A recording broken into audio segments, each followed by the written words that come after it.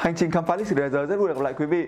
Trước khi bắt đầu video, xin được thay mặt cho hành trình khám phá lịch sử thế giới gửi đến toàn thể các quý vị yêu lịch sử lời chúc mừng năm mới 2020 hạnh phúc và thành công. Thưa quý vị, chiến tranh thương mại là hiện tượng trong đó có hai hay nhiều nước tăng hoặc tạo ra thuế hoặc các loại rào cản thương mại với nhau nhằm đáp trả những rào cản thương mại của nước đối lập. Điển hình và ồn ào nhất có thể kể đến căng thẳng thương mại Mỹ-Trung, trải qua nhiều giai đoạn thăng trầm, có nhiều nguy cơ gây tác động tới kinh tế chính trị toàn cầu. Tuy nhiên, trước cuộc đối đầu Mỹ-Trung thì nước Mỹ đã trải qua xung đột thương mại lớn với nhiều quốc gia và châu lục, ảnh hưởng không nhỏ tới nền kinh tế, chính trị và ngoại giao toàn cầu. Lịch sử thế giới sẽ chia sẻ cùng quý vị 7 cuộc chiến tranh thương mại lớn nhất lịch sử Mỹ qua video ngay sau đây. Trước đó đừng quên nhấn subscribe kênh youtube Lịch sử Thế giới nếu là lần đầu theo dõi video trên kênh của chúng tôi.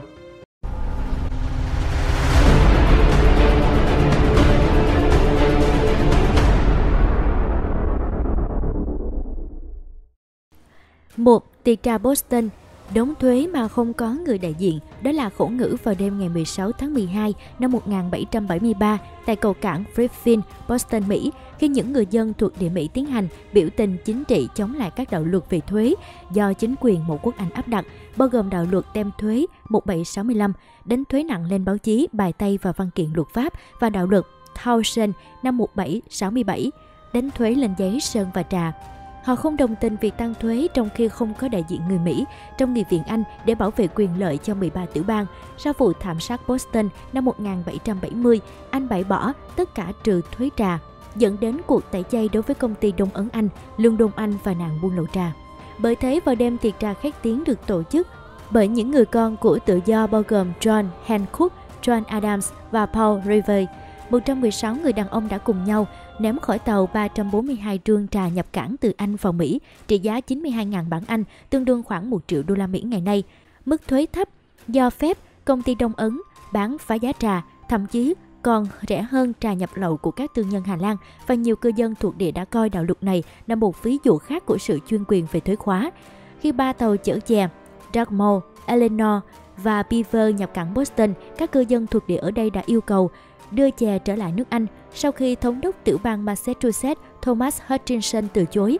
Lãnh đạo nhóm người yêu nước Samuel Adams đã tổ chức tiệc trà với khoảng 60 thành viên của nhóm những người con của tự do, nhóm kháng chiến ngầm của ông. Lực lượng chè bị đánh chìm ở cảng Boston đêm ngày 16 tháng 12 được ước tính là có giá trị khoảng 18.000 bảng Anh, tương đương 2,2 triệu đô la ngày nay.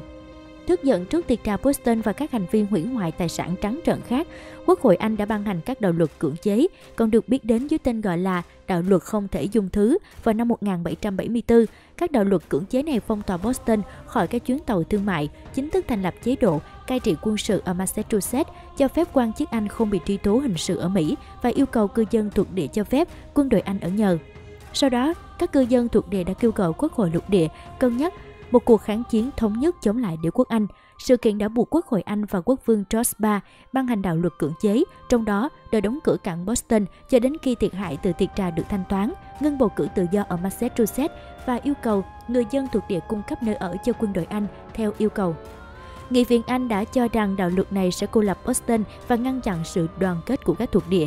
Thế nhưng thay vào đó, các thuộc địa khác lại đổ xô, gửi đồ tiếp tế và thúc đẩy tuyên bố quyền cai trị độc lập của họ. Cuộc cách mạng sớm bắt đầu ngay sau đó. Vào ngày 19 tháng 4 năm 1975, với chiến thắng ngày 4 tháng 7 năm 1976, chính thức đánh dấu sự ra đời của nước Mỹ. 2. Đạo luật Smoot-Hawley năm 1930 Ban đầu Tổng thống Herbert Hoover dự định giải quyết những khó khăn của nông dân Mỹ trong thời kỳ đầu cuộc đại khủng hoảng 1930 bằng cách áp thuế cao lên hàng nông sản nhập khẩu. Tuy nhiên, thượng nghị sĩ Rick Smoot và Willis C. Hawley lại đề xuất một đạo luật riêng thêm sản phẩm công nghiệp và đối tượng tăng thuế, bất chấp kiến nghị của 1.000 học giả kinh tế trong nước. Điều này gây ra đáp trả dữ dội từ nhiều nước khác trên thế giới, khiến cho căng thẳng càng leo thang trong bối cảnh khủng hoảng kinh tế. Đạo luật Smoot-Hawley bị coi là một thảm họa trong lịch sử Mỹ, dẫn tới hành động áp thuế trả đũa của nhiều quốc gia, tiêu biểu là Canada và các nước châu Âu. Đây là một trong những nguyên nhân chính khiến cho kim ngạch xuất khẩu năm 1993 của Mỹ giảm đến 61%, đồng thời làm đình trệ sự phục hồi kinh tế trong thời kỳ suy thoái. Nhưng cũng chính nhờ thất bại của đạo luật này mà ở kỳ bầu cử tiếp theo, Hoover đã phải nhường ghế tổng thống cho Franklin D. Roosevelt. Smoot và Hawley cũng bị lật đổ và đạo luật về các hiệp định thương mại tương hỗ của Roosevelt năm 1934 thay thế cho đạo luật Smoot-Hawley cho phép tổng thống đàm phán cắt giảm thuế quan. Trong vòng 2 năm kế đó, khối lượng hàng hóa nhập khẩu và xuất khẩu của Mỹ giảm 40% khi các đối tác thương mại đáp trả bằng hàng rào thuế quan của họ. Các nhà sản xuất nước ngoài giảm bớt hoặc là ngừng chuyển hàng tới Mỹ vì nó không tạo ra lợi nhuận nữa. Một số nhà sản xuất Mỹ buộc phải trả nhiều tiền hơn cho những nguyên vật liệu nhập khẩu vốn được sử dụng để tạo ra sản phẩm cuối cùng của họ và phải đối mặt với hàng rào thuế quan cao hơn từ nước ngoài. Nông dân Mỹ, những người lẽ ra phải hưởng lợi chính từ đạo luật Smoot-Hawley, chứng kiến nông sản sụt giảm và hoạt động xuất khẩu cũng tụt dốc. Thứ ba, cuộc chiến thuế gà những năm 1960, khi hình thức chăn nuôi gà hiện đại sản xuất hàng loạt ở Mỹ ngày càng phát triển, các nước đổ xô mua loại thịt gà rẻ tiền này, tăng sản lượng nhập khẩu gà ở các nước quốc gia châu Âu. Do đó, Pháp và Tây Đức khi đang phục hồi Thế chiến thứ hai đã tự cứu mình bằng cách tăng thuế đối với gia cầm, gây tổn thất lớn cho ngành công nghiệp gia cầm Mỹ. Đáp trả, Tổng thống Mỹ Lyndon Johnson đã áp đặt mức thuế nhập khẩu 25% lên xe tải hạng nhẹ, xe buýt Volkswagen, rượu Branky và tinh bột khoai tây. Khi đó bên hưởng lợi lại chính là ngành công nghiệp ô tô của Nhật Bản. Một số thương hiệu Nhật như là Toyota và Isuzu đã xây dựng nhà máy lắp ráp trên lãnh thổ Mỹ và lách thuế thành công. Điều này làm tăng mức thuế quan đối với sản phẩm xuất khẩu gà của Mỹ, làm họ nhanh chóng mất thị trường Đức vào tay vào các nhà sản xuất khẩu làm họ nhanh chóng mất thị trường Đức vào tay các nhà xuất khẩu Pháp và Hà Lan. Các nước không chịu mức thuế quan này, Mỹ yêu cầu bồi thường và đe dọa trả đũa đối với các mặt hàng xe tải của Đức, rượu, Konak của Pháp và khóa phẩm Destrin của Hà Lan. Cuộc xung đột chỉ liên quan đến một vài lĩnh vực và nhận được sự ủng hộ trung gian của Hiệp định chung về thuế quan và thương mại GATT. Các nước châu Âu từ chối nhượng bộ và Mỹ với sự đồng ý với định chế quốc tế có thể tăng mức thuế quan đối với các sản phẩm nhập khẩu nói trên của châu Âu. Thứ tư là chiến tranh thương mại với Nhật Bản năm 1987. Năm 1987, Tổng thống Ronald Reagan đã tăng gấp đôi thuế nhập khẩu lên 300 triệu đô la hàng điện tử như là máy tính, thiết bị điện và TV có xuất xứ từ Nhật Bản. Chính quyền Mỹ cho biết biện pháp này nhằm trả đũa Nhật Bản khi không tuân thủ thỏa thuận cho phép hàng Mỹ vào thị trường hay ngừng định giá thấp nhất đối với chip máy tính bán dẫn của Mỹ.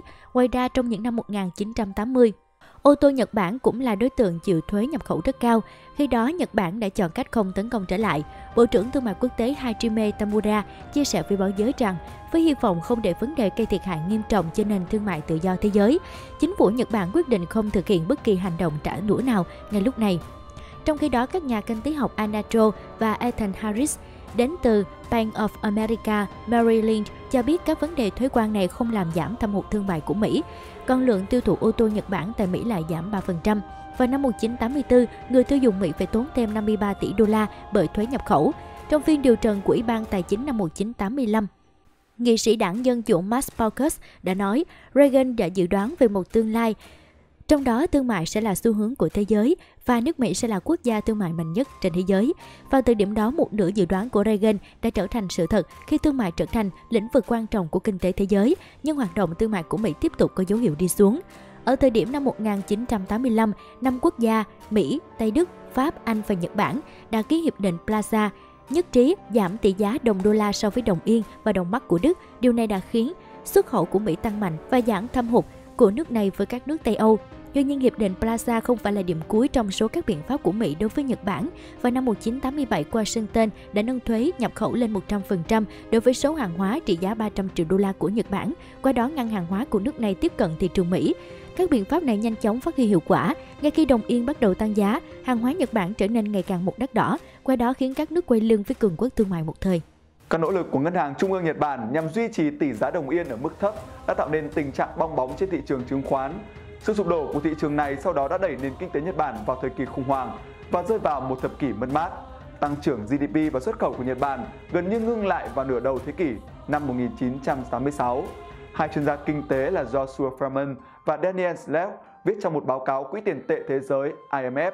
Báo cáo này kết luận trong hiệp định Prada không phải là lý do chính dẫn đến sự đảo chiều của kinh tế Nhật Bản. Hiệp định này đã khởi đầu cho một loạt các sự kiện, bao gồm cả những quyết định sai lầm của Tokyo dẫn đến sự sụp đổ của nền kinh tế. Năm cuộc chiến thương mại về gỗ giữa Canada và Mỹ từ năm 1982, Canada vốn khai thác gỗ từ đất công với giá trị thị trường do chính phủ quyết định, trong khi đó Mỹ chủ yếu sử dụng các vùng đất tư nhân nên giá cả thay đổi theo cung cầu thị trường. Bởi thế, đến năm 1982, Mỹ nêu quan điểm rằng Canada đã trợ cấp không công bằng cho sản phẩm gỗ xẻ của mình. Điều này dẫn đến những tranh chấp và căng thẳng thuế quan cho đến tận bây giờ giữa hai quốc gia. đại diện thương mại Mỹ Robert Lighthizer cũng đứng về phía Bộ Thương mại và Ủy ban Thương mại Quốc tế Mỹ khi cho rằng những đơn vị này đã tuân thủ chặt chẽ các quy định pháp luật của Mỹ và phản ứng phù hợp với các nguyên tắc của WTO. Vì thế, không có lý do gì mà phải lo sợ vụ kiện của Canada khi Mỹ hoàn toàn có khả năng chiếm ưu thế. Va chạm về chính sách thuế giữa Mỹ và Canada không phải bây giờ mới có, đặc biệt là với sản phẩm gỗ xẻ. Hai bên gặp bất đồng hàng chục năm rồi và hết lần này đến lần khác, đàm phán hòa giải đều bất thành. Kể từ năm 1982 đến nay, Canada đã 4 lần kiện Mỹ liên quan tới vấn đề này. Tranh chấp về gỗ xẻ giữa Mỹ và Canada chủ yếu tập trung quanh khoản phí mà các xưởng gỗ Canada phải trả cho các cây gỗ bị đốn hạ trong đất của chính phủ. Khoản phí này thấp hơn nhiều so với số tiền phải trả tại Mỹ do các cây gỗ tại Mỹ lại chủ yếu nằm trong đất tư nhân. Vì thế, Mỹ cho rằng chính phủ Canada đã lạm dụng kẻ hở luật pháp để cung cấp các khoản trợ cấp khổng lồ cho ngành công nghiệp chế biến gỗ, bán phá giá gỗ rẻ vào thị trường Mỹ và gây tổn hại cho các nhà sản xuất và công nhân Mỹ. Mức thuế mới do đó chỉ là nhằm đòi lại công bằng theo pháp luật về thương mại của Mỹ mà thôi. Gỗ sẻ là mặt hàng được sử dụng rất nhiều trong ngành xây dựng tại Mỹ và khối lượng nhập khẩu tương đối lớn, khoảng 33% gỗ sẻ ở nước này năm 2016 là nhập khẩu, trong đó hơn 95% có xuất xứ từ Canada. Hậu quả là trong năm 2018, Canada phải chịu thuế hàng trăm triệu đô la cho mặt hàng này, còn người tiêu dùng Mỹ cũng đối mặt với mức giá gỗ xẻ kỷ lục khi ngành công nghiệp xây dựng bùng nổ. Theo Brandon Lens, giá gỗ xẻ miền Tây Canada đã tăng khoảng 40% vào năm 2018. Thứ sáu là chiến tranh thương mại về chuối năm 1993. Năm 1993, châu Âu áp thuế nặng lên sản phẩm chuối nhập khẩu từ Mỹ Latin nhằm giúp các thuộc địa vùng Caribbean được hưởng lợi, trong khi đó những trang trại chuối ở Mỹ Latin đa phần được sở hữu bởi các công ty Mỹ. Do đó để đáp trả, chính phủ Mỹ đã áp dụng thuế quan đối với các mặt hàng như là túi sách Pháp, vải linen từ Anh và dăm bông của Đan Mạch. Sau khi nộp 8 đơn khiếu nại lên Tổ chức Thương mại Thế giới WTO, năm 2009 Liên minh châu Âu đã đồng ý giảm dần thuế quan. Cuộc chiến tranh thương mại về chuối kết thúc vào năm 2012 và cuối cùng là thuế thép năm 2002.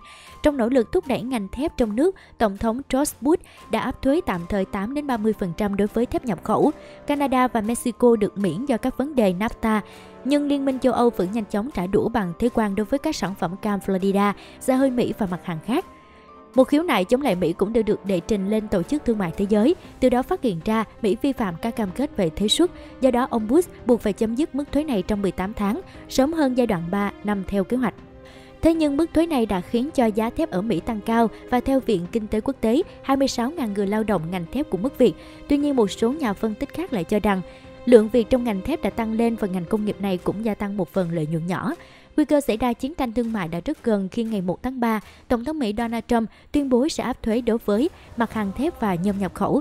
Cụ thể, Tổng thống Mỹ cho biết ông sẽ ký thông qua mức thuế 25% đối với sản phẩm thép và 10% đối với nhôm để bảo vệ các nhà sản xuất trong nước và sẽ duy trì một khoảng thời gian dài. Mức thuế mới sẽ ảnh hưởng đến hàng loạt công ty sản xuất và đụng chạm đến nhiều nước, không chỉ nhà sản xuất nhôm thép lớn nhất thế giới là Trung Quốc mà cả các đồng minh phương Tây.